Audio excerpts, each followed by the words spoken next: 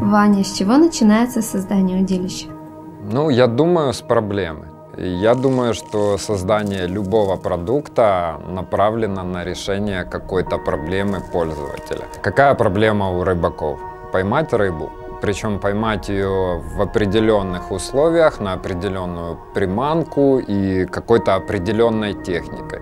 Вот, собственно, эту проблему мы решаем. Э, я очень много путешествую в последнее время, ловлю рыбу в разных абсолютно местах, в разных условиях и постоянно сталкиваюсь с проблемой, э, то, что мне не хватает снасти для того, чтобы поймать рыбу вот именно здесь, именно эту рыбу, именно на ту приманку, которая э, у меня есть. Поэтому возникает потребность решить эту проблему созданием снасти, которая подходит вот как конкретно под эти условия. Сейчас нашими удилищами ловят практически по всему миру, и получается так, что с одной стороны я решаю свою проблему, с другой стороны мы помогаем решить задачи э, рыболовов, которые ловят в своих регионах. А вот у нас условия не меняются, они постоянные и вроде бы уже все придумано. Но э, наша проблема то, что у нас постоянно меняются тренды, то есть появляются какие-то новые виды ловли или становятся заново популярными, хорошо забытые старые. И потребность нашего рыболова в снасти под эти новые тренды. Вот, собственно, эту потребность мы решаем для нашего домашнего рынка. Следующий этап – поиск идеи. Э, идея может прийти где угодно, но чаще всего это случается на рыбалке. По моему мнению, важна практика, важно ловить. Э, когда ты ловишь, ты понимаешь, что в этой снасти что-то не так, и тебе вдруг приходит идея, как это изменить, что ты хочешь переделать.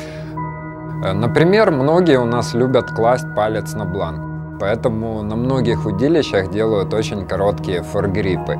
Э, но если мы ловим крупную рыбу в море, э, нам нужен упор для вываживания. И часто этот короткий форгрип, он просто неудобен. Э, поэтому важна практика. Только так мы можем определить проблему и найти ее решение.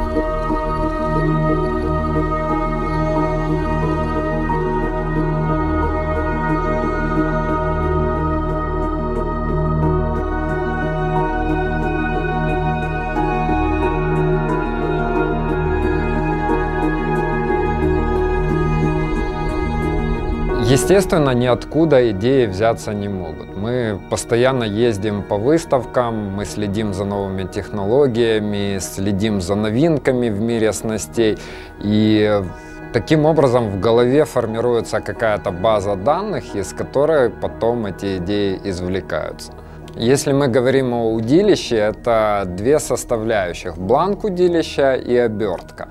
По бланку мы составляем техническое задание, отправляем его на завод, где инженеры уже подготавливают чертежи и изготавливают образец. А, обертка, то есть э, это дизайн самого удилища. Причем дизайн мы имеем в виду не только его цвет, э, шрифты, логотипы, это также и дизайн ручки. То есть это ее форма, это ее размеры, это ее эргономичность, это все то, что мы можем пощупать руками и то, что мы видим глазами.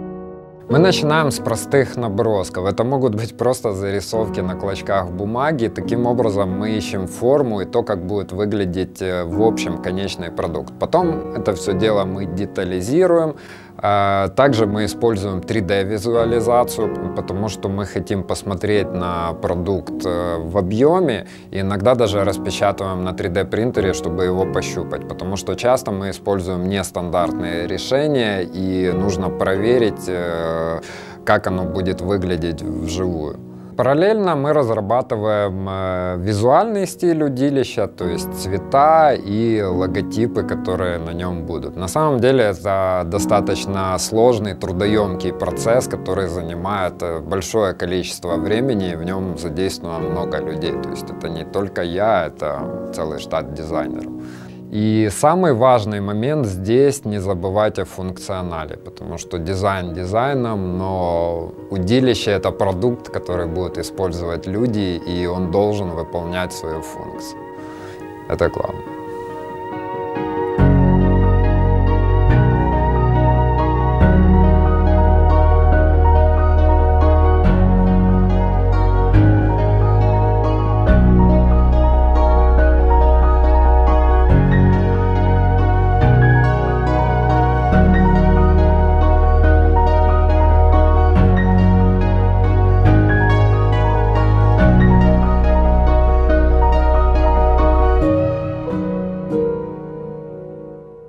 Первые образцы проходят тестирование на заводе. На специальном оборудовании делаются краш-тесты, и мы определяем, насколько это удилище мощное и какую нагрузку оно может выдержать.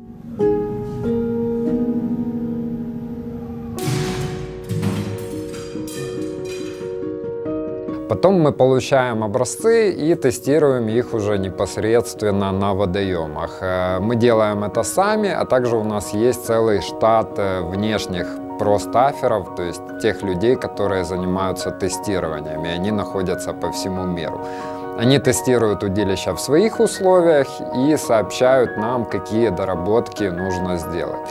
И от первого до финального образца бывает достаточно много промежуточных, потому что мы вносим изменения, пока мы не будем полностью довольны тем результатом, который получен. Наконец мы получаем финальный образец и запускаем производство.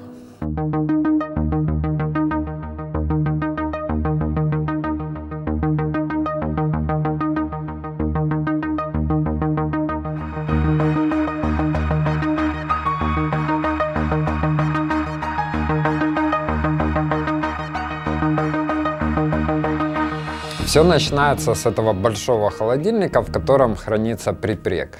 Припрег это композитный материал, который состоит из э, самих карбоновых волокон и связующего. Он бывает разной модульности, разной структуры, бывает с разным направлением волокон. В основном используется японский припрег Тарей и корейский Skyflex.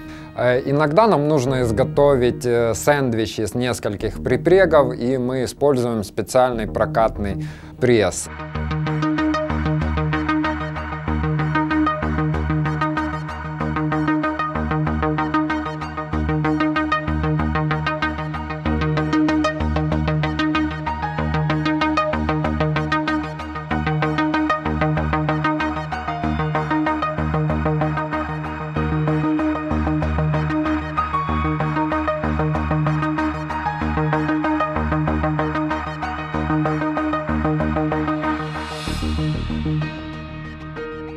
Из припрега изготавливают выкройки, которые потом наматываются на дорт. Это такой стальной стержень, он имеет определенную конусность, которая задает будущую геометрию бланка удилища.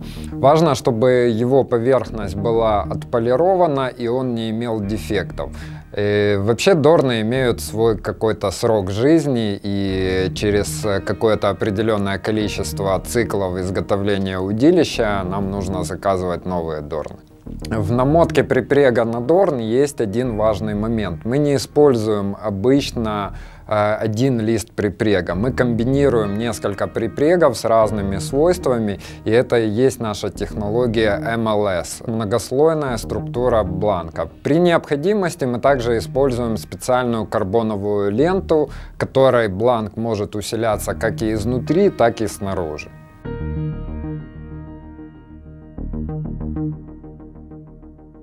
Дальше эта конструкция из дорна и припрега обматывается специальной пластиковой лентой. С помощью станка лента наматывается очень плотно. Э, кстати, та ребристость, которую часто мы видим на бланке, это и есть следы от пластиковой ленты.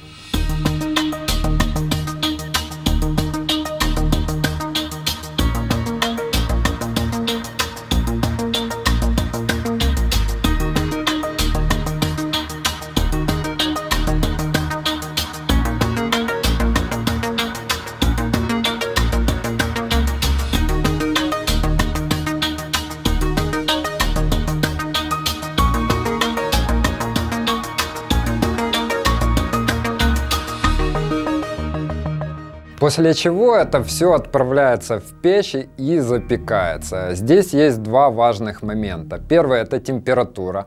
Она не постоянная, в зависимости от припрега строится свой график температуры. Второй момент это высота печи. Э, естественно, чем выше печь, тем более длинный одночасный бланк мы можем сделать. Это важно для американского рынка, потому что они используют одночасные удилища. И наши печи нам позволяют сделать одночасные бланки до 3 метров в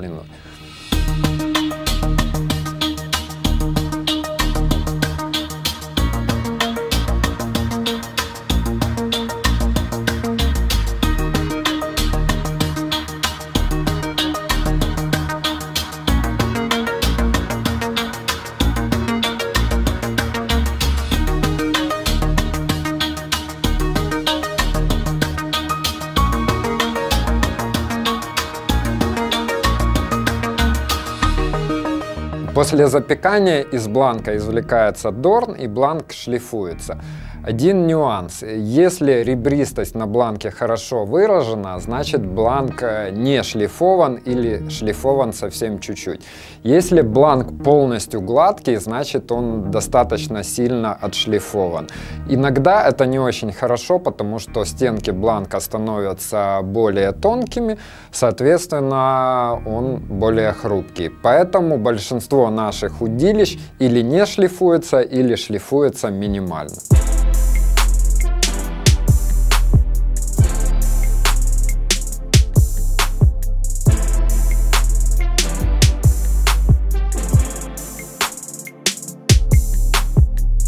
Важный момент – контроль качества. Он проводится на нескольких этапах, и все бланки после шлифовки его проходят. Мы определяем, э, чтобы бланк был ровный, изучаем его поверхность, а также проводим тест на излом. Также на этом этапе мы определяем шов бланка, который нам пригодится в дальнейшем. Далее бланки красятся. Мы предпочитаем не красить весь бланк, особенно на легких удилищах, потому что это негативно сказывается на весе и строе удилища. Потом на бланк наносятся логотипы в виде деколей и покрывается финишным слоем лака.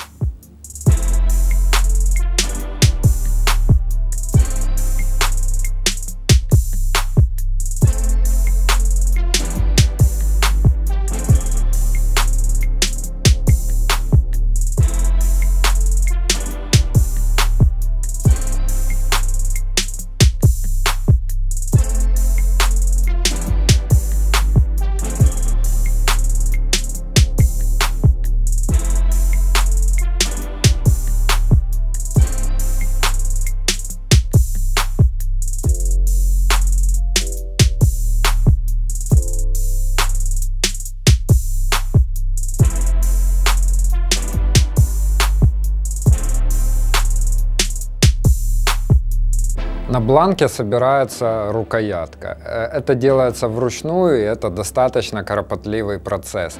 Э, здесь важно использовать достаточное количество эпоксидки для того, чтобы ручка была прочная и не проворачивался катушка-держатель, но с другой стороны нужно сделать это очень аккуратно, чтобы не было каких-то подтеков этой эпоксидки и ручка была чистенькая и красивая. Также важный момент это качество компонентов. Э, пробка, Ева и металлические части заказываются у внешних производителей, поэтому важно выбирать хороших поставщиков и проводить контроль качества отдельных компонентов. А вообще в целом, если говорить о качестве удилища, оно состоит из вот э, таких мелких деталей, и для того, чтобы получить качественный продукт в финале, нужно обращать внимание на любые мелочи.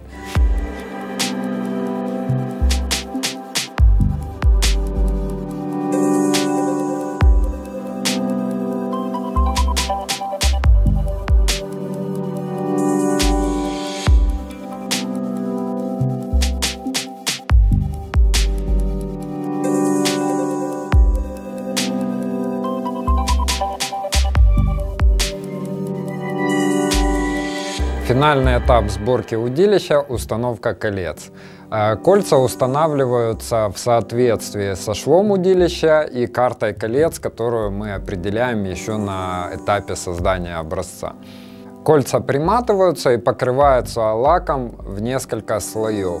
И части удилищ отправляются на специальные сушилки в виде барабанов. На каждый такой барабан может поместиться около сотни удилищ. И это отличает их от тех сушилок, которые используют наши ротбилдеры.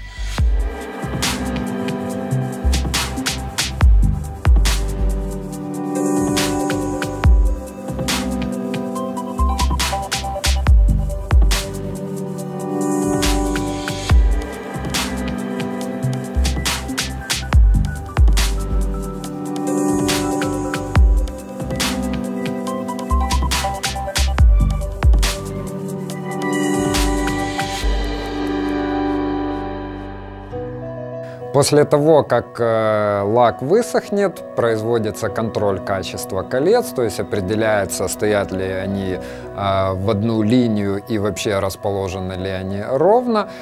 Далее удилища собираются, для этого происходит подгонка стыка, чистятся и подготавливаются к финальному контролю качества, который производим мы. Для этого мы специально приезжаем на завод.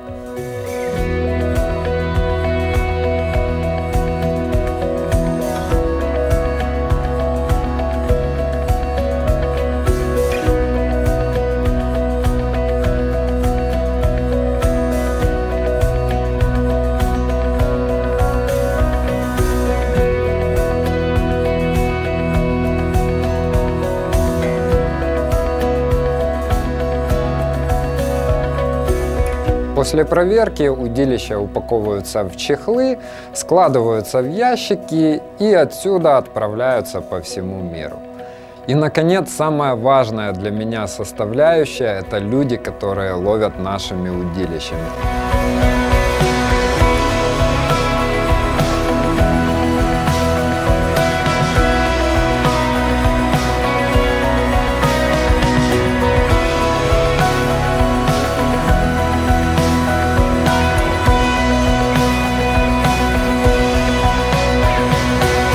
Это финальная точка в создании продукта, когда ты видишь, что твои удилища используют, люди ими ловят, они решают проблему и они выполняют заложенную в них функцию, тогда ты понимаешь, что все сделал правильно.